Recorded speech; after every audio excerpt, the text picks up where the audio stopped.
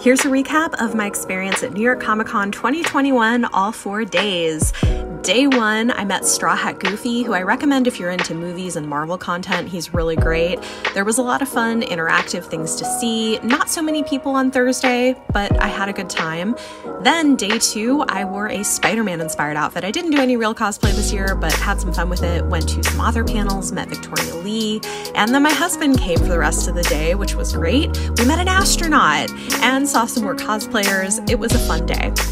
Day three, I did a Star Wars themed outfit, saw some more authors on panels, they were amazing, and was better about getting pictures of all the incredible cosplays. This was probably the busiest day, and then saw a screening of a new episode of The Last Man, which was fun, and we're on to day four Women in the Walking Dead panel, and then a Women Who Built Fandom panel. Both of these were really interesting. Overall, it was a great weekend, and I can't wait to go back next year.